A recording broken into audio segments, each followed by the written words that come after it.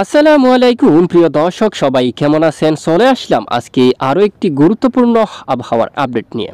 চলমান আবহাওয়ার পরিস্থিতি দেশের বেশিরভাগ স্থানে আকাশ পরিষ্কার থাকছে। এবার আগামী দিনের মধ্যে তাপমাত্রা বাড়ার ইঙ্গিত দিচ্ছে আবহাওয়ার মডেল। আগামীকাল পহেলা মার্চ বুধবার কেমন থাকবে বাংলাদেশের আবহাওয়া, কোথাও বৃষ্টিপাতের আবাস থাকছে কিনা, বিস্তারিত লাইভ দেখাবো এই ভিডিওটির মাধ্যমে। আশা করি ভিডিওটি শেষ পর্যন্ত দেখবেন। ভালো লাগলে লাইক করবেন।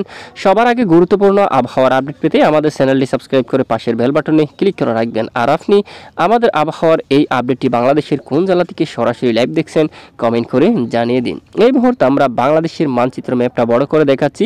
বাংলাদেশের বেশিরভাগ জায়গায় আকাশ পরিষ্কার। রংপুর থেকে শুরু করে রাজশাহী বিভাগ, ময়মনসিংহ বিভাগ, ঢাকা বিভাগ, সিলেট বিভাগ, এছাড়া খুলনা, বরিশাল, চট্টগ্রাম থেকে শুরু করে সমস্ত স্থানে আকাশ একদম পরিষ্কার অবস্থা রয়েছে। এই মুহূর্তে দেশের কোথাও বৃষ্টিবাহী মেঘ তৈরি হতে দেখা যাচ্ছে না, যার কারণে বৃষ্টিপাতের আবাস পাওয়া যাচ্ছে না। তো আগামী চব্বিশ ঘণ্টার মধ্যে দেশের কোথাও বৃষ্টিপাতের আবাস থাকছে কিনা, আমরা সরাসরি আপনাদেরকে মেঘলা মোড়ে গিয়ে দেখিয়ে দিচ্ছি। আমরা এই মুহূর্তে মেঘলা মোড়ে চলে আসলাম, দেখতে পাচ্ছি আগামীকাল বুধবার, পহেলা মার্চ দিনের প্রথমার্ধে এখানে দেশের দক্ষিণাঞ্চলে আকাশ আংশিক মেঘাচ্ছন্ন থাকার আবার দিচ্ছে আবহাওয়ার মডেল। এদিকে দেখতে পাচ্ছি কোন কোন স্থানে আমরা দেখতে পাচ্ছি এদিকে শিবনগর তারপর সুন্দরবন, উপকূলীয় অঞ্চল, এদিকে হালদিবাড়ি তারপর হালদিয়া, তারপর জলাশারা এই জায়গাগুলোর মধ্যে আকাশ কিছুটা মেঘাচ্ছন্ন থাকার সম্ভাবনা রয়েছে এবং পরবর্তীতে বেলা বাড়ার সাথে সাথে পরিষ্কার হয়ে যাওয়ার সম্ভাবনা রয়েছে। আগামী চব্বিশ ঘন্টায় দেশের বেশিরভাগ স্থানে আকাশ পরিষ্কার থাকতে পারে। তো কোথাও স্থানীয় মেঘ তৈরি হয়ে বৃষ্টিপাতের আবাস পাওয়া গেলে অবশ্যই কমেন্টসে জানিয়ে দেওয়ার চেষ্টা করব ইনশাআল্লাহ। এবার আমরা আপনাদেরকে সরাসরি পরবর্তী তিন দিনের মধ্যে কোনো ধরনের বৃষ্টিপাতের আবাস পাওয়া যাচ্ছে কিনা সরাসরি এই মুহূর্তে বৃষ্টিবাহী মোড়ে গিয়ে আপনাদেরকে দেখিয়ে দিচ্ছি। আমরা পরবর্তী তিন দিনে বৃষ্টিবাহী মোড়ে চলে আসলাম।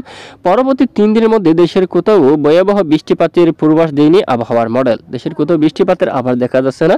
এদিকে বঙ্গোসাগরের নিরাপদ অবস্থা রয়েছে, কোনো ধরনের ঘূর্ণিঝড়, নিম্নচাপ, লঘুচাপ নেই। যদি পরিবর্তন আসে, অবশ্যই আপনাদেরকে জানিয়ে দেবো। তো এবার আমরা আপনাদেরকে তাপমাত্রা মোডে নিয়ে যাচ্ছি। দেশের সর্বোচ্চ তাপমাত্রা কত ডিগ্রি সেলসিয়াসের মধ্যে উঠতে পারে?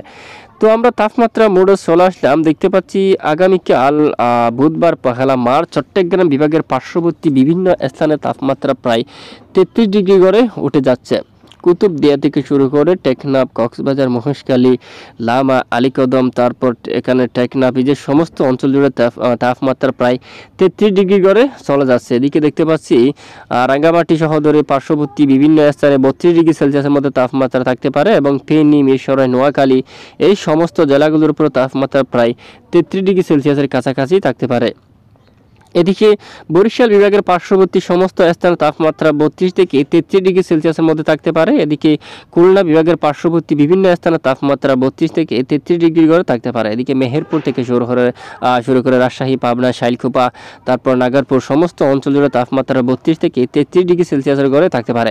এদিকে বগুড়া, রাজশাহী, তারপর গোড়াঘাট আমরা দেখতে পাচ্ছি এই সমস্ত জায়গাগুলোর পর তাপমাত্রা তিরিশ থেকে একত্রিশ ডিগ্রি সেলসিয়াসের কাছাকাছি থাকতে পারে এবং রংপুর বিভাগের পার্শ্ববর্তী বিভিন্ন স্থানে তাপমাত্রা প্রায় তিরিশ ডিগ্রি সেলসিয়াসের কাছাকাছি থাকার সম্ভাবনা রয়েছে। তো এ হচ্ছে মূলত আজকের আবহাওয়া রিপোর্ট প্রতিদিন নিয়মিত সঠিক খবর সবার আগে পাওয়ার জন্য আমাদের সাথে থাকবেন। আর এতক্ষণ আমাদের সাথে থাকার জন্য ধন্যবাদ।